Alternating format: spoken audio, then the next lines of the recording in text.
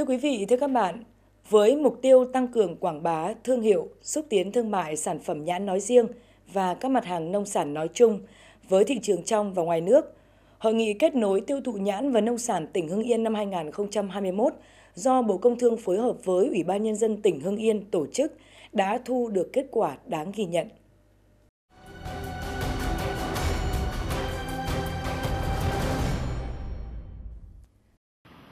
Năm 2021, diện tích nhãn lồng của tỉnh Hưng Yên khoảng 4.500 ha, nhãn trồng theo tiêu chuẩn Việt Gáp cho sản phẩm chất lượng cao là hơn 1.300 ha. Sản lượng thu hoạch nhãn của Hưng Yên năm nay dự kiến đạt khoảng 50 đến 55.000 tấn, cao hơn năm 2020 từ 15 đến 20%. Trong đó, hơn 60% được sản xuất theo tiêu chuẩn Việt Gáp.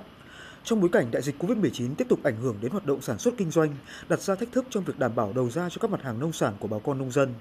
Trước những yêu cầu cần thiết trong hoạt động kết nối tiêu thụ sản phẩm, đặc biệt là những loại nông sản đặc sản vùng miền đang tới kỳ thu hoạch, Hội nghị kết nối tiêu thụ nhãn và nông sản tỉnh Hưng Yên năm 2021 là hoạt động xúc tiến thương mại được tổ chức thành công, thực hiện theo phương thức trực tiếp kết hợp trực tuyến. Điểm cầu chính tại Trung tâm Hội nghị tỉnh Hưng Yên kết nối với 12 điểm cầu trong nước và 60 điểm cầu ở nước ngoài tại 21 quốc gia và vùng lãnh thổ trên thế giới đã đem lại hiệu quả cao trong việc kết nối tiêu thụ sản phẩm đặc sản của Hưng Yên tới thị trường trong và ngoài nước.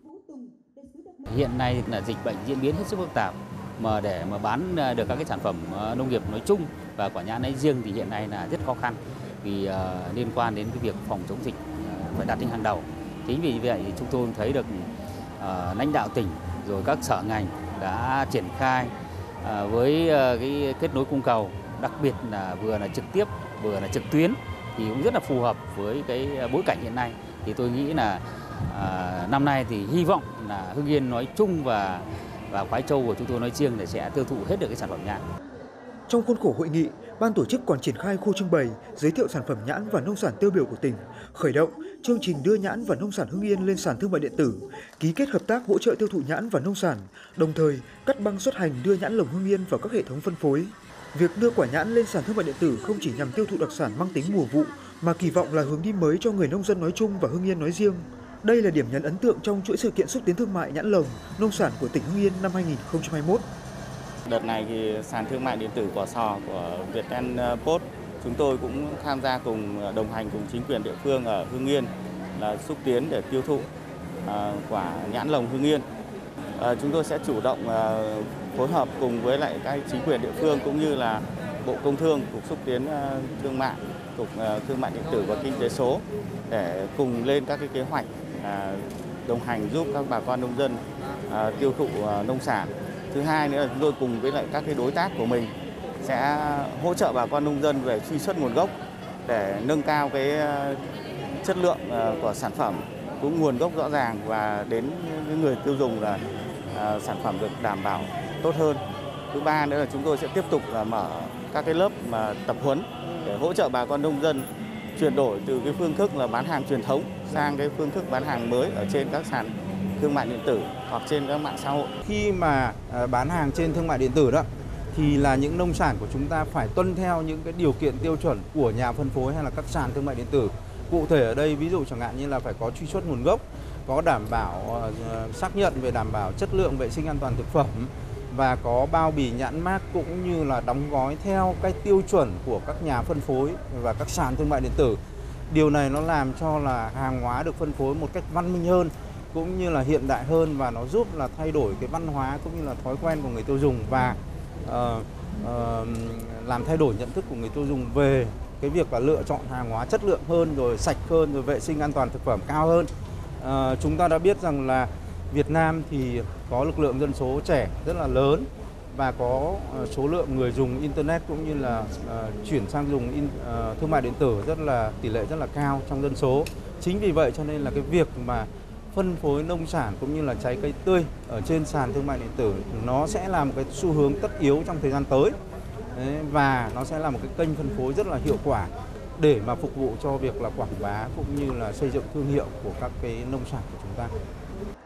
Lãnh đạo Cục xúc tiến thương mại cho biết, để triển khai hoạt động xúc tiến thương mại quy mô tầm cỡ quốc tế lớn như thế này trong gần một tháng, với vai trò cơ quan đầu mối của Bộ Công Thương, Cục đã phối hợp với các đơn vị liên quan, huy động sự vào cuộc của hệ thống các thương vụ Việt Nam tại nước ngoài, các tổ chức kinh tế, thương mại, nhà nhập khẩu trái cây từ nhiều quốc gia, vùng lãnh thổ, hệ thống phân phối trong và ngoài nước, các sàn thương mại điện tử tham gia giao dịch trực tuyến với các nhà vườn, hợp tác xã, doanh nghiệp đầu mối, qua đó đã thúc đẩy các cơ hội hợp tác kinh doanh và đầu tư, xúc tiến tiêu thụ, phát triển thị trường trong nước và xuất khẩu cho quả nhãn và nông sản hương Yên.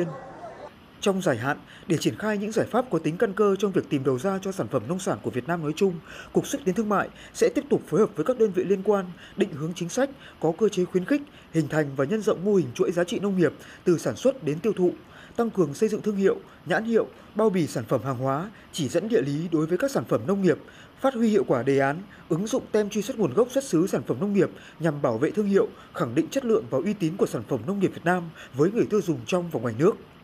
Để xây dựng thương hiệu một cách bền vững cho quả à, nhãn của Hưng Yên